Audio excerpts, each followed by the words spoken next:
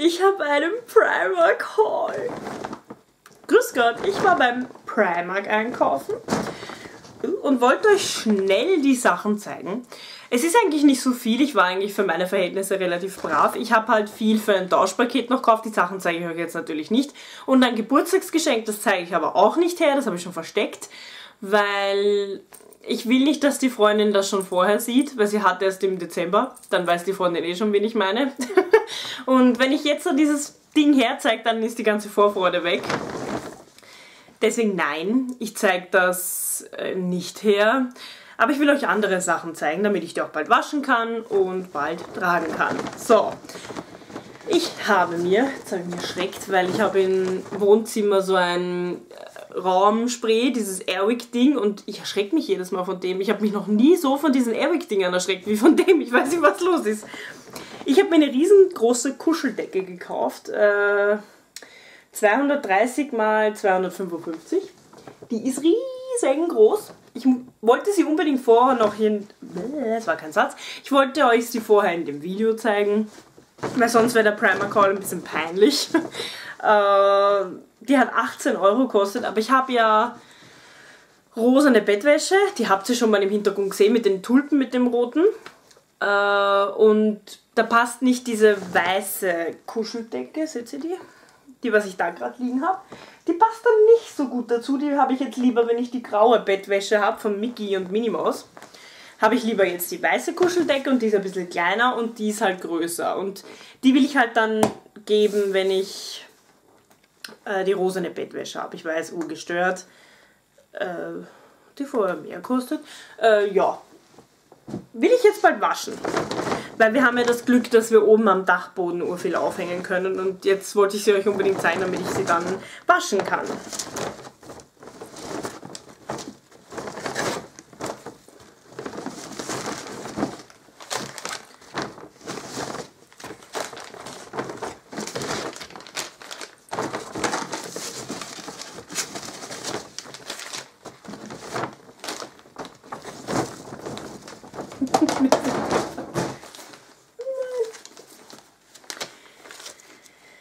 Ich habe mir so einen Schwamm gekauft mit Mickey Maus Ohren. Der war eigentlich relativ teuer, der hat 3,50 Euro kostet, aber das ist Mickey Maus. Ihr kennt mich schon. Ich meine, ihr habt die riesen Minnie Maus da im Hintergrund liegen und deswegen, ich musste mir den unbedingt mitnehmen. Da schmeiße ich alles weg.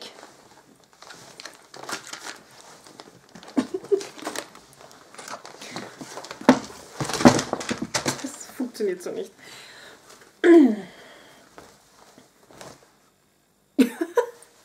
Das ist ein Chaos. Ihr wisst ja, ich bin ein Disney-Junkie und ich habe mir beim Primark, der war relativ teuer, um 3,50. Da gab es jetzt riesengroß aufgebaut, lauter Mickey und Minnie Maus Sachen und ich bin da halber, ich bin so lange davor gestanden, weil ich so überlegt habe, mir Sachen zu kaufen davon. Und ich ärgere mich so, es hätte da in klein so einen Mickey Maus Kopfpolster gegeben. Wenn ich dran denke, blende ich euch, bilde ich euch das Bild ein. Blende ich euch das Bild ein. Ich habe eindeutig schon zu viele Videos, glaube ich, dreht. Äh, wenn ich dran denke, blende ich euch das Foto ein. Ich hoffe, ich denke dran. Äh, weil jetzt durch das, dass ich immer woanders Videos schneiden muss, ist es noch ein bisschen mühsam. Ich hoffe, das hört bald auf. Aber da habe ich mich echt zusammenreißen müssen. Und ich habe mir halt nur den Luferschwamm. Also es ist kein Luferschwamm. Ich sage immer Luferschwamm, aber es schaut ganz anders aus. Ähm, wie heißen die? Netzschwamm heißen die. Ich sage immer Luferschwamm, aber das ist falsch. Luferschwämme schauen anders aus äh, mit Ohren, mit Mickey Mouse Ohren. Fangen einfach an, das Thema zu wechseln. Äh, mit Mickey Mouse Ohren, den habe ich mir gekauft. Eigentlich können die Mickey Mouse Ohren, glaube ich, so. Ja.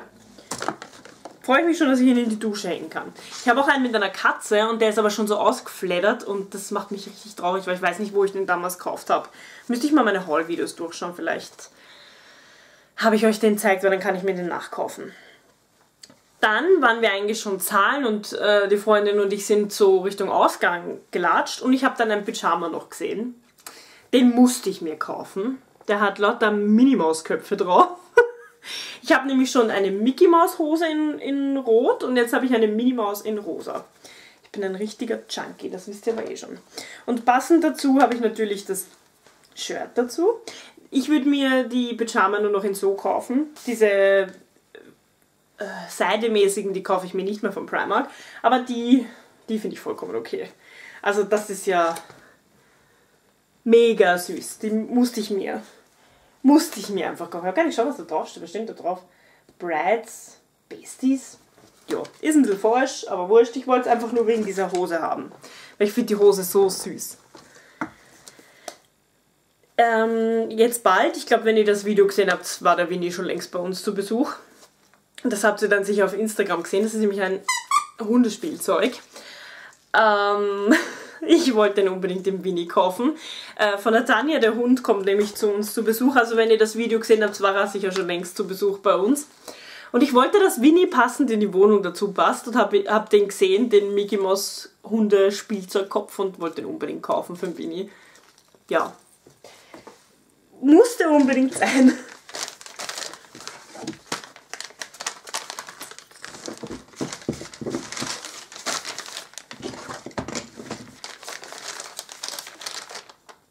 Ja, dafür könnte ich mich ein bisschen ohrfeigen. Aber okay. Ich probiere es noch einmal mit einer Tuchmaske von Primark, weil ich ja mit den Augenmasken so gute Erfahrungen gemacht habe. Irgendwie bilde ich mir auch ein, ich habe welche vergessen. Nein. Aber habe ich da nur eine? Hm.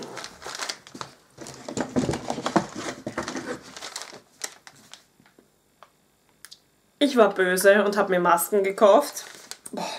So Schluck auf. Oh Gott. äh, ich habe mir eine mit Avocadoöl gekauft, so eine Haarmaske. Ich probiere es einfach. Vielleicht benutze ich die eher am Wochenende, damit ich mir dann gleich wieder die Haare waschen kann, wenn sie fertig werden sollten. Eine Tuchmaske habe ich mir auch nochmal gekauft, weil ich die unbedingt probieren wollte, weil da Watermelon drauf stand und ich musste unbedingt die haben. Ich habe jetzt nur die einmal gekauft. Gucken wir mal, wie ich sie finde. Dann habe ich Handmasken mir gekauft. Ich habe die mir gleich zweimal mitgenommen, äh, weil ich die Verpackung so schön fand. Ziemlich dämlich. Und weil ich in letzter Zeit so eine Liebe für Handmasken äh, entwickle. Ich habe nämlich eine von der Kimberly bekommen und die habe ich schon benutzt und die war mega geil. Und deswegen hatte ich da so einen kleinen Spleen und habe mir die halt gekauft. Dann habe ich noch Augenmasken mitgenommen. Ich weiß nicht, wie ich sitzen soll, weil jetzt langsam wird es echt quer hier. Äh, einmal gibt es jetzt neu Avocado Eye Patches, die schauen so aus. Die haben auch so Avocados drauf. Ich bin echt gespannt, wie die sind. Ich habe mir von denen nur eine Packung mitgenommen. Dafür habe ich mir von den Melone wieder so viele mitgenommen. Die habe ich ja vor kurzem aufgebraucht und euch gezeigt und die fand ich mega gut. Und ich weiß nicht, ob sie die Verpackung verändert haben, weil ich habe mir von den neuen Verpackungen zwei mitgenommen. Und die schauen so aus. Also das ist die alte, glaube ich, und das ist die neue Verpackung. Also da finde ich die neue schöner, muss ich ehrlich sagen. Da finde ich dann die neue schöner. Ich habe leider diese Kirschlippenmaske nicht mehr gefunden. Die wollte ich unbedingt wieder haben und ich habe sie nicht gefunden. Was ich mir aber gekauft habe, ich habe nämlich vor kurzem eine Mickey Mouse Tasche von Primark wegschmeißen müssen. Das war meine allerliebste Handtasche. Ich weiß nicht, ob man die in einem Video gesehen hat oder so, aber ich habe die so geliebt und die ist mir kaputt gegangen. Und jetzt habe ich eine neue gefunden beim Primark und habe die mir ausnahmsweise gekauft. Ich meine, die war auch relativ teuer, 14 Euro. Ich fand die so schön. Ich habe auch extra geschaut, dass da das Muster viel schöner ist, weil bei manchen war das dann in der Mitte so abkackt und da waren die Mickey Mäuse erst drauf, aber ich habe da jetzt extra darauf geachtet, dass ich eine schönere finde. Äh, ja. Ich hau mal das ganze Papier daraus. Es ist nicht viel Stauraum, muss ich sagen. Es ist wenig Stauraum. Aber ich habe mir gedacht, wenn ich im Bad Ischl wieder bin mit der Freundin von mir, dass ich sie halt... Äh, irgendwie kneift mich mein Sport-BH. Äh, dass ich die halt mitnehmen kann, weil sie hat halt so ein, goldene, so ein goldenes Kettel und ich finde das eigentlich relativ schön und sie ich habe so ein komisches Oberteil auch heute an und ich finde die passt relativ gut. Was sagt ihr? Also ich finde die ich finde die schon cool. Sie ist natürlich kein richtiger Ersatz, weil meine gibt es nicht mehr, mehr. Und ich war da sehr traurig, dass es nur noch die gab. Aber ja, meine Geldbörse kriege ich da zum Beispiel gar nicht rein. Aber ich habe ja auch so ein Kartending, wo ich dann nur die Karten rausziehen muss. Und für Bad Ischl finde ich, wenn wir essen gehen oder so, reicht die vollkommen. Ja,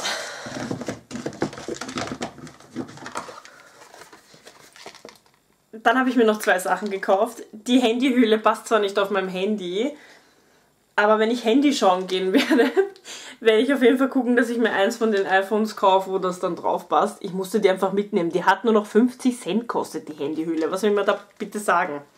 Und da ist Mickey drauf. Mini, Entschuldigung, Mini ist drauf. Und die musste ich einfach mitnehmen, weil das dezent oben drauf ist. Und um 50 Cent, mein Gott. Habe ich mir gedacht, nehme ich die einfach mit. Und dann habe ich mich so in diese Kirsche verliebt. Das kann man aufs Handy geben, auf den Schlüssel, alles Mögliche. Und ich habe sie mir genommen, die Kirsche, damit ich sie dann auf meinen Schlüssel gebe. Irgendwann habe ich ja doch hoffentlich bald weniger Wohnungsschlüssel drauf, weil ich habe noch die von der alten Wohnung drauf und das nervt mich halt tierisch. Und dann habe ich die Kirsche gesehen, ich meine, die kann man eigentlich urleicht selber machen. Guckt's mal. Die hätte man sicher, wenn man so ein Können hat. Ich könnte das nicht, meine Mom hätte das sicher geschafft.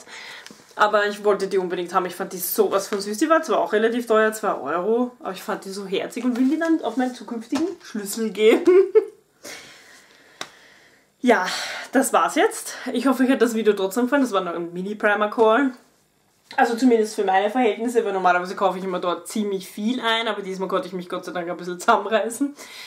Ich hoffe, euch hat es trotzdem gefallen und wir sehen uns dann im nächsten Video wieder. Bye!